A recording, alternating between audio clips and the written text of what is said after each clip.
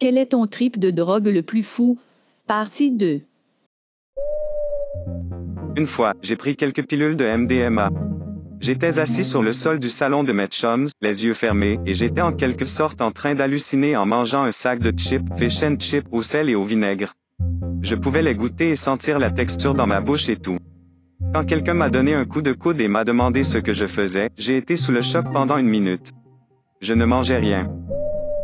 Salvia. Ce sera toujours de la salvia. J'ai consommé beaucoup de drogue, et plus précisément de psychédéliques. J'ai fait différents concentrés de salvia et je suis pleinement consciente que ce sera tout simplement jamais une expérience confortable. C'est juste la nature de la salvia. Ma meilleure amie m'a appelé un jour et m'a dit qu'elle avait du concentré 120 et qu'elle ne voulait pas le faire seule.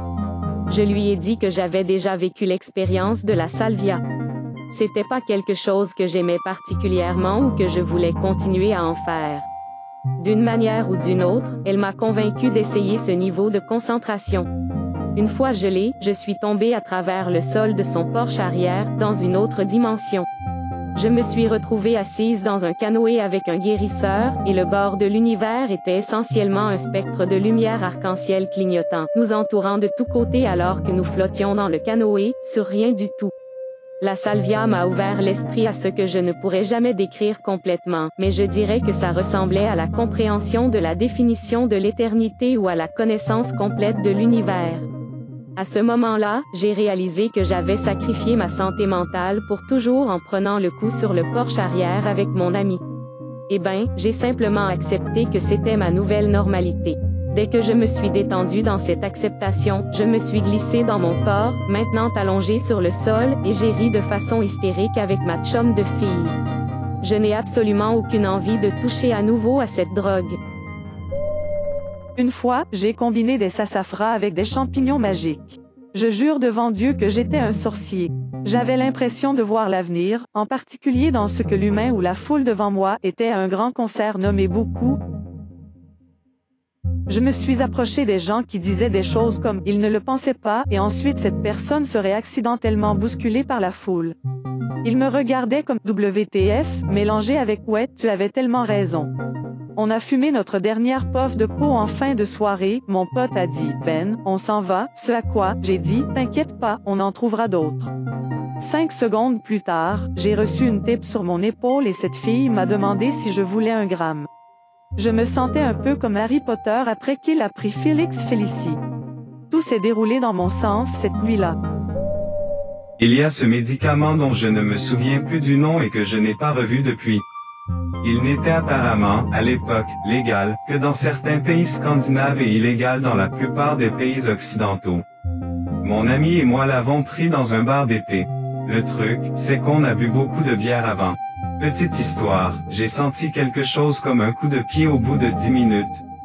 Mon corps a tremblé de manière incontrôlable pendant une heure. Je suis allé aux toilettes, quand j'y suis arrivé, j'ai soudainement oublié comment marcher, alors je me suis senti déprimé. J'étais vraisemblablement allongé là durant 30 minutes en essayant de vomir. J'étais littéralement en train de mourir. Je me suis levé, je suis sorti des toilettes, puis j'ai réalisé par tous les visages féminins qui me regardaient comme si j'étais l'esti de Gringe volant leur Noël, j'étais dans la salle de bain des dames. Leur a crié que j'ai identifié une femme tout en étant toujours défoncé, ivre, rapidement réuni avec mon ami qui a trouvé les toilettes des hommes et nous avons vécu heureux pour toujours. Mon ami et moi avons bu toute une bouteille de vin, fumé un joint puis elle a décidé d'aller se coucher. J'ai alors pensé que c'était une bonne idée de manger moi-même un chocolat aux champignons très fort. Je suis resté dans la salle de bain toute la nuit à triper, jusqu'à ce que je m'aventure dans la cuisine et que je me perde dans le dessin du comptoir. Je me souviens m'être évanoui, m'être complètement perdu dans ma tête et m'être réconcilié avec le fait que j'étais en train de mourir et que je ne me réveillerais probablement pas. Quelques heures plus tard, je me suis réveillé. Je me sentais comme une personne différente à 21e anniversaire. J'avais une mauvaise crise d'allergie et j'ai pris du Benadryl. J'ai rapidement oublié que j'avais pris le Benadryl. J'ai continué à boire plusieurs Smirnoff d'affilée, puis j'ai marché dans un cadre de porte et j'ai passé cinq minutes à essayer de me souvenir du mot placard. La première fois que j'avais un comestible du cannabis. J'ai pris la moitié. Une heure plus tard, rien alors, j'ai mangé l'autre moitié.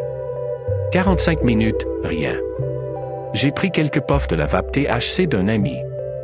J'ai donc passé les dix prochaines minutes à me demander qui est cet étranger qui colle tous nos amis et qui me colle aussi.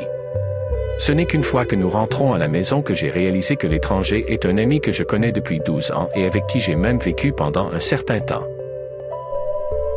J'ai passé une semaine à prendre du LSD. Ça a commencé comme un microdosage pour récupérer un peu de ma dépression, mais ça s'est terminé par combien puis-je prendre jusqu'à ce que je devienne complètement décalissé? Des semaines après, j'avais des flashs de choses, comme si mon cerveau était brisé. Une lampe brillerait sans être allumée pour moi, une bouilloire sifflerait dans l'armoire. J'ai entendu des frappes aux portes à l'intérieur de la maison, comme la porte de la salle de bain ou la machine à laver. Je n'y croyais pas, ce qui fait la différence entre psychose et pas de psychose. Le pire, c'était les visages.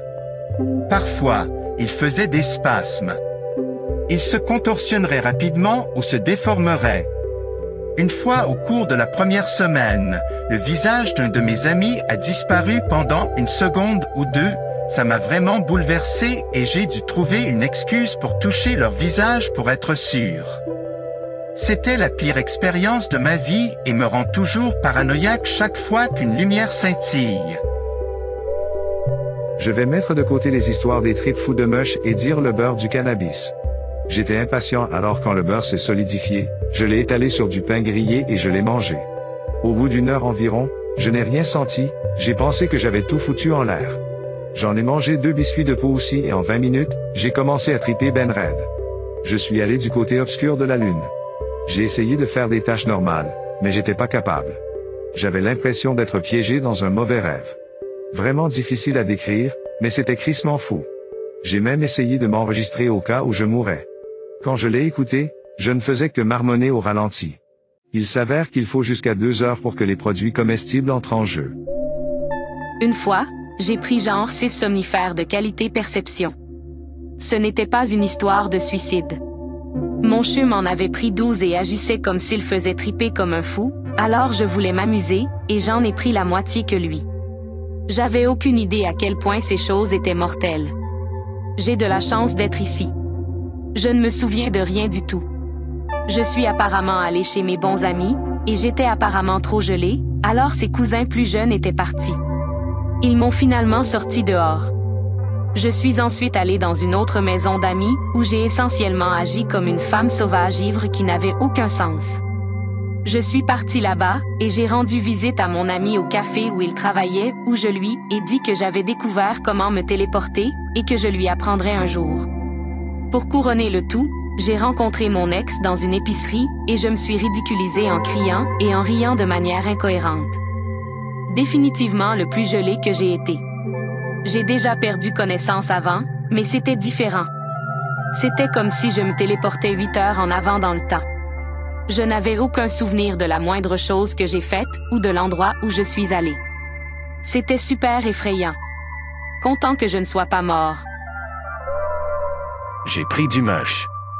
Avec de la bière et du weed. Ça ressemblait à aucun trip de mush que j'ai jamais eu. Mon chumami puis moi étions allongés dans le lit, blottis l'un contre l'autre, parlant et riant, pendant un moment. Nous étions partis tous les deux agréablement calmes et il était allongé les yeux fermés.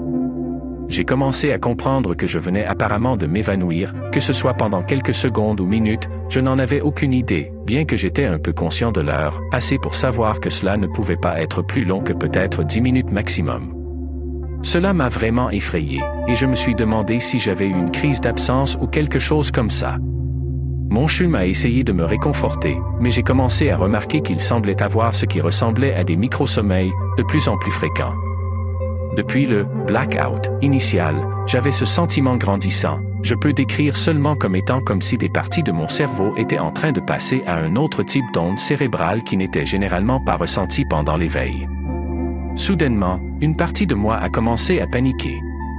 Je me suis assis et j'ai réveillé mon chum pour lui dire que je pensais que j'avais une crise de panique et que j'avais l'impression d'être mort. Je lui ai demandé de s'asseoir et de me parler, ce qu'il a fait, mais il a continué à se pencher pour poser sa tête sur mon épaule et semblait s'endormir à chaque fois. Je me sentais comme si j'ai dû forcer pour respirer. Je n'arrêtais pas de lui dire, j'ai l'impression d'être mort. Quand j'ai regardé mes mains et mes jambes, j'avais l'air gris et tacheté. Quand j'ai regardé autour de moi dans la pièce, j'ai su que c'était ma propre chambre, mais tout paraissait simplement éteint d'une manière indescriptible, comme si j'étais dans une réalité alternative. Finalement, tout ça s'est passé, et même si c'était terrifiant à l'époque, ça m'a laissé ce sentiment durable et très rassurant que la mort serait très paisible le moment venu. Un beau néant paisible. Le tout ressemblait beaucoup plus à un long trip de salvia que n'importe quel champignon que j'ai jamais fait.